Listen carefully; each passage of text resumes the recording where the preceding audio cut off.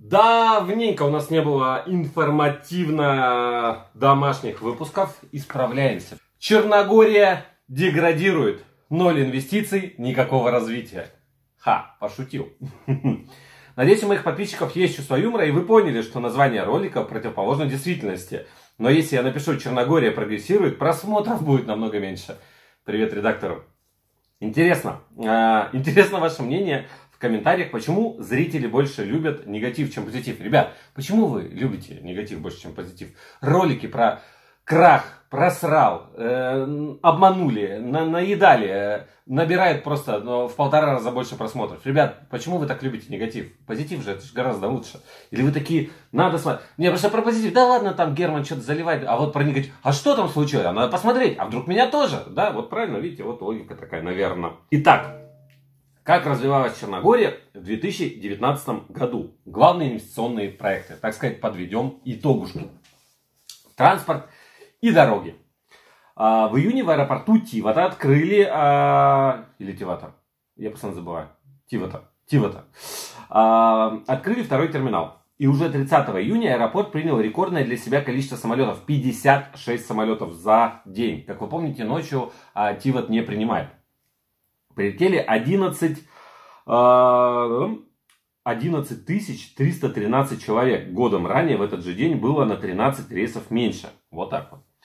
По данным на 22 сентября Тивот встретил 1 миллион 180 тысяч пассажиров и 6 тысяч самолетов. Ужас. А, увеличению пассажиропотока способствовало открытие второго терминала. Логично.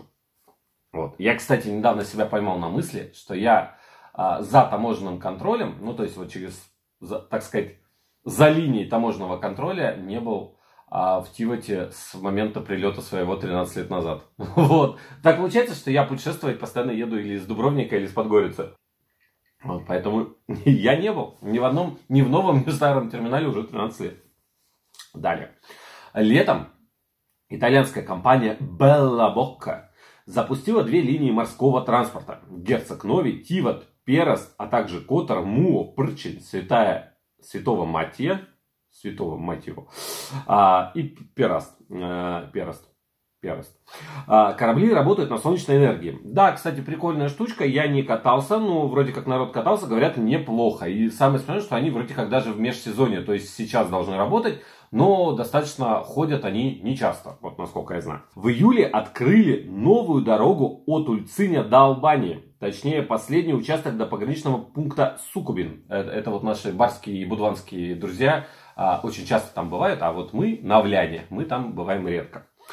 А, значит, э, Сукобин, э, Черногория и Муричане, Албания. Муричане. Звучит больше по-черногорски, чем по-албански. Да?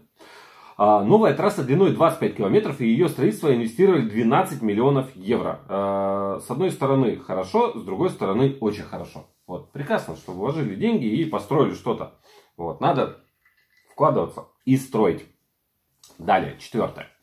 В сентябре 2020 года должны открыть первый участок автобана на севере страны. Уже известно, что стоимость проезда 40 километров на участке Смоковац, муниципалитет Подгорица, Матишева, муниципалитет Калашин обойдется в 3 евро 30 центов. Вот нафига вот эти дробные штуки? Ну, давайте уже либо 3, либо 3,50. 3,30-то что? Ну ладно, лучше, ну 3.30 лучше, чем 3.50, по-любому. Прекрасная новость. Я, кстати, вот э, буквально на днях э, задумался об этом, что надо загуглить, когда там что откроют.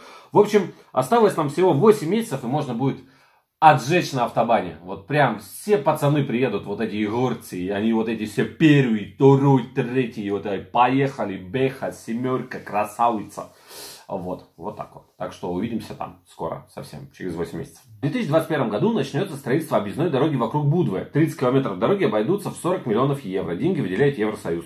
А, прекрасная новость и логично, почему Евросоюз, потому что они же по этой дороге-то ездят и в Будве стоят в пробках, и задолбало их стоять в пробках. Они такие, знаете вам 40 миллионов, сделайте нам 30 километров объездной дороги, чтобы мы в пробках не стояли. А именно наши албанские друзья, чтобы не стояли в пробках. Вот.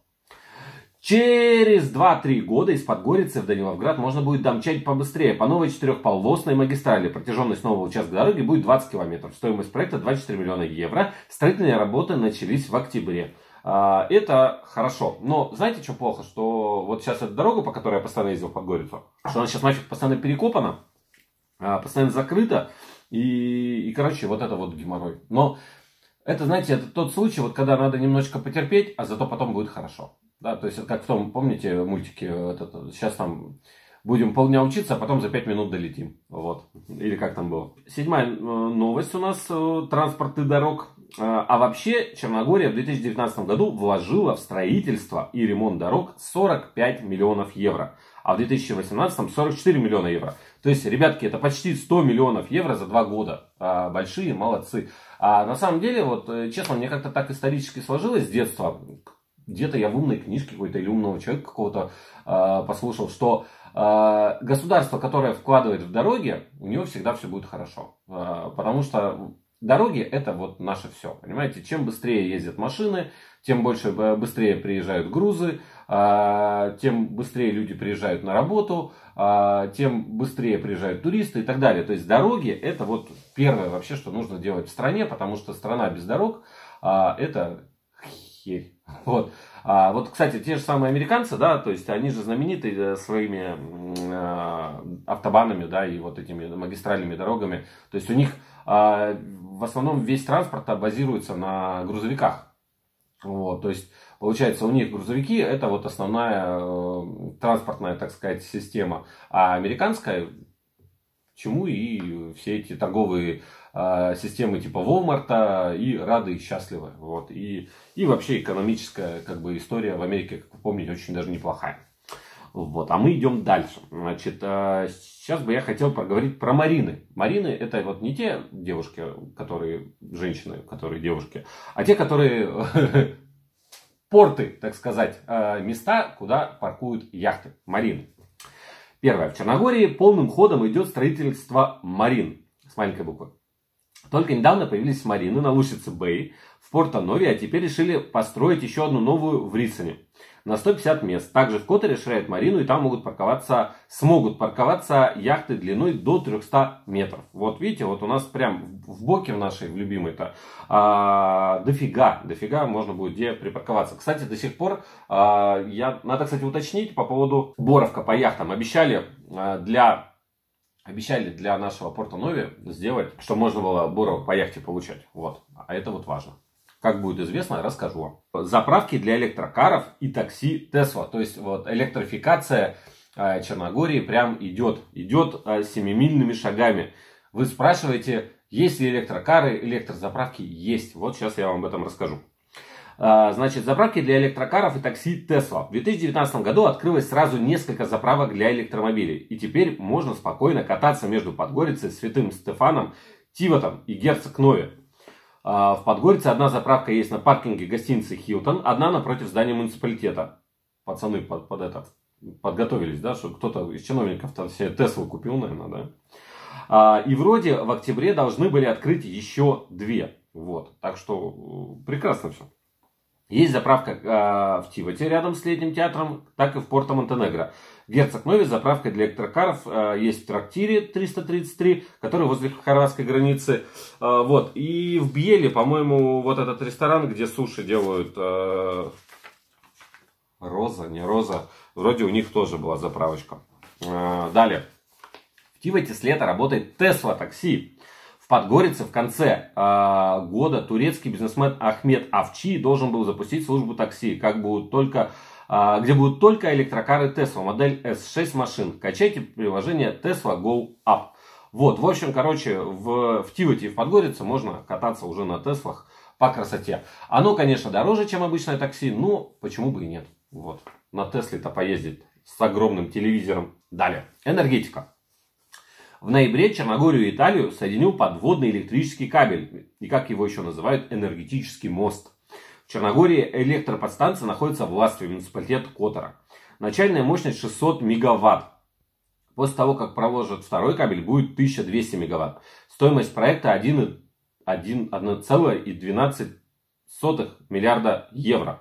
По дну Адриатического моря проложили 423 километра кабеля на максимальной глубине 1215 метров. Через Черногорию планируют распределить энергосети на другие балканские страны. Да, это вот такой мост между Италией и Черногорией. Для чего? Для того, чтобы можно было делиться электроэнергией в, ту, в обе стороны. Хотите из Черногории в Италию, хотите из Италии в Черногорию. И это хорошо. Также в ноябре недалеко от Ульцина запустили ветряную электростанцию Мажура или Можура. Проект стоимостью 6 миллионов евро реализован на деньги двух мальтийских компаний и под контроль государства перейдет в 2035 году. Мощность электростанции 46 мегаватт. И это прекрасно, ребят. Вот вы когда едете в сторону Албании, смотрите на ветрячки, а это вот эта Можура, которая дает 46 мегаватт электроэнергии. Далее. К маю 2021 года планируют построить одну из крупнейших солнечных электростанций в Европе. Недалеко от Ульцина. Мощность электростанции составит 250 мегаватт. Стоимость проекта 200 миллионов евро. И это тоже прекрасная новость, потому что мегаватты, а, особенно солнечные, особенно возобновляемые, это прекрасно. Далее. А, программа гражданства через инвестиции. А, собственно, чтобы привлекать инвестиции в страну, запустили программу экономического гражданства. За три года планируют выдать 2000 паспортов. Значит, а, мы на эту тему поговорим с вами в отдельном выпуске. А если коротко, то есть две системы. То есть 250 тысяч евро плюс 100 тысяч евро на севере страны. Или 450 тысяч евро плюс 100 тысяч евро а, на побережье и в Подгорье. Инвести... Фу, инвестиции в проекты, одобренные правительством. Да, есть несколько проектов, которые уже согласованы правительством. А, и мы о них, наверное, поговорим. Но отдельно, в отдельном выпуске. Я думаю, что а, мы все протестируем, чтобы было все по красоте. И потом запишем специально для вас, для вас отдельный выпуск. Для вас отдельный выпуск, а, в котором мы скажем про экономическое гражданство. Вот, подробно, со всеми моментами, нюансами и так далее. И с выкладками. И все, чтобы вот прям по красоте. Вот. А, ребят, а на этом я бы хотел закончить наш выпуск по поводу Черногория деградирует, в кавычках. Вот. Спасибо вам большое, что посмотрели этот выпуск. Э, увидимся совсем скоро. Э, вторник, четверг. А воскресенье, как вы помните, каждое воскресенье у меня стримы. А, пишите комментарии, ставьте лайки. Э, Че, как настроение? Держитесь там. Вот, и все такое. Ладно, ребятки, спасибо большое. Лайки, колокольчики, подписочки, бубенцы. Увидимся в следующем выпуске. Пока-пока.